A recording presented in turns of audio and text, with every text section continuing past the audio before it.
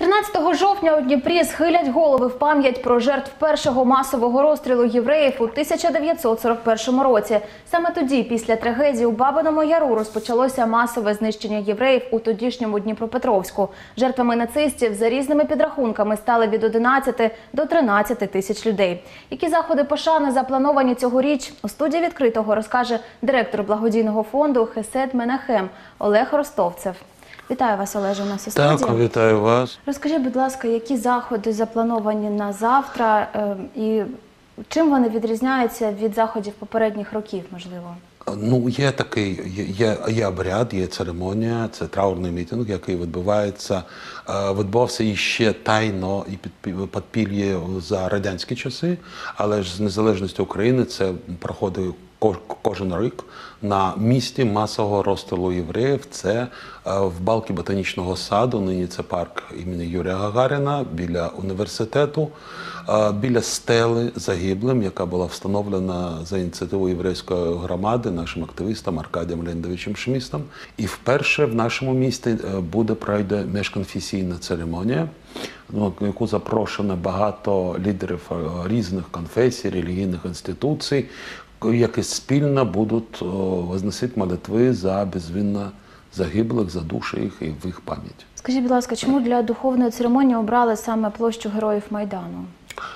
Там збирались е, нацисти збирали євреїв на цьому місці, е, і від туди йшов марш смерті, якщо то можна так сказати, марш гибель. Е, До балки ботанічного саду він йшов по вулиці нині вулиці Грушевського і там зворачував до транспортного інституту. Це було вже окраїне місце, це там вже не було домів того, того часу. І багато людей, багато тисяч людей, е, яких забрали туди, повели, і це були розстріли е, двоє, дві доби. Е, Дітей, жінок, людей похилого віку, всіх. Ні у кого не мало шансів. Тільки за те, що вони народились євреями. Розкажіть про цей великий траурний мітинг. Який буде саме маршрут? Кого ви долучаєте до цього Ми заходу? так чи просимо, можуть долучитися да. звичайні дніпряни? Перше, я вже про це казав, ми хотіли би, щоб там були всі, щоб там були українці, тому що це пам'ять єдиної згуртованої політичної нації. Для євреїв це біль, для євреїв це особиста біль. Але ж це трагедія не тільки не стільки євреїв, скільки трагедія того суспільства, в якому це було. 13.30, балка ботанічного саду, парк імені Гагаріна. Це на, якщо хтось хоче подивитися геометку, де це конкретно буде, це є на сайті єврейської громади. Це багато інших містах, але ми можемо сказати, що ми всіх е, чекаємо. Туди приїдуть ті, хто участвував в релігійній церемонії. А Ми там все зберемося, згуртовано, всі в місті. В оргкомітет цього заходу е, входить Світлана Михайловна Мороз. Це професор, відомий лікар, депутат обласної ради, е, яка розповість свою особисту історію того, як її родина е, з- пов'язана з цим містом, і що відбувалось в ті часи. Е, Ви анонсували проєкт меморіалу жертвам Голокосту. Розкажіть про нього трошки. Е, Хто до нього долучився? Е, Долучився до розробки, коли ви плануєте його презентувати? Він буде презентований завтра в в ході траурної церемонії. Це проєкт, який е, підтриманий і ініційоване єврейською громадою Дніпра.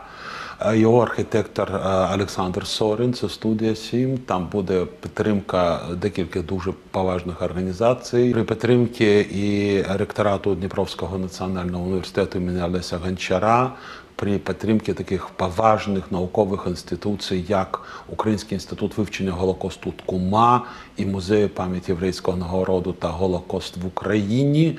Там буде багато стел, і там будуть ну, ті імена, які ми знаємо.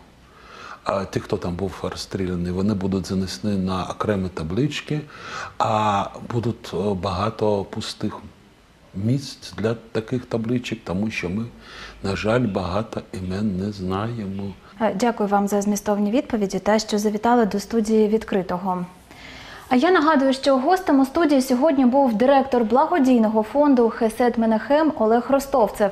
Говорили про те, як у Дніпрі відзначатимуть 80-ті роковини від дня першого масового розстрілу нацистами євреїв у роки Другої світової.